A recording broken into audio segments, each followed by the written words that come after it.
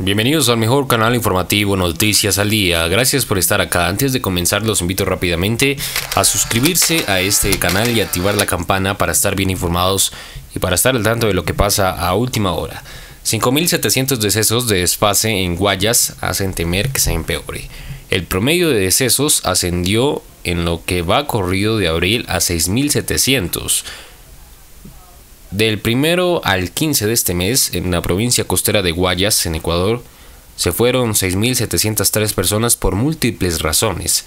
Antes de la pandemia de la COVID-19, el promedio de decesos en general era de 1.000 para este lapso de tiempo, por lo que hay un excedente de más de 5.700 nuevos eh, personas que han perdido la vida, que pueden ser el indicativo de que la situación en esta provincia que es el epicentro de la enfermedad en el país, puede ser mucho más grave de lo que se calculaba. Pero antes de continuar con esta noticia, no olviden dejar un comentario en este video y un me gusta para apoyar a este equipo investigativo.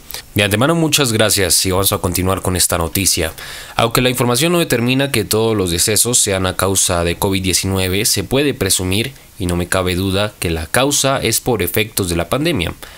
Dijo a Noticias al Día el representante del grupo de tarea conjunta conformado para apoyar la crisis en Guayas, Jorge Whitehead Risunhan. Se puede presumir, y no me cabe duda, que la causa es por efectos de la pandemia. El funcionario detalló que la estadística promedio es de 2.000 decesos mensuales, un promedio de 1.000 por 15 días, lo que refleja una diferencia superior a 5.700 decesos que se han asentado en el registro civil solo en lo que va corrido de abril.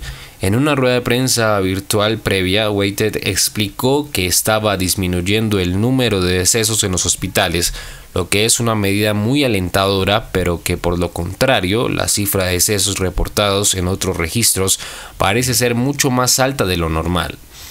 No se descarta, por supuesto, que muchos de los decesos estén relacionados con coronavirus, pero que no estén en la lista porque nunca se les hizo la prueba. Pero las cifras del funcionario no cuadran con la información oficial que las autoridades entregan cada día al pueblo ecuatoriano. Este jueves la ministra de Gobierno, María Paula Romo, informó de un total de 1.035 personas que han perdido la vida, 403 confirmados por efectos del virus y otros 632 probables por registrar síntomas similares a los del COVID-19. Con una cifra oficial de 8.225 infectados en Ecuador, Guayas tiene 5.754 contagios en el 70% de todo el país. La cifra de decesos en la provincia es de 187, según Romo. Guayas y su capital, Guayaquil, han sufrido la crisis sanitaria más grande de su historia. Ha sido y sigue siendo una situación tremendamente dolorosa para la cual no estuvimos preparados. Lo que hemos pasado no tiene definición en el diccionario, dice Wattet. Los medios de comunicación evidenciaron ante el mundo decenas de casos de decesos insepultos que fueron sacados a las calles porque no eran retirados de domicilios. El número de decesos en Latinoamérica, Ecuador es el segundo detrás de Brasil, pero dada su pequeña población, es el más afectado per cápita. ¿Qué opinan de esta noticia? Nuevamente los invito a suscribirse, activar la campana de notificaciones para estar bien informados, para estar bien enterados de lo que pasa en Ecuador. Recuerden comentar y dejar un me gusta. Gracias por estar acá. Esto es Noticias al Día.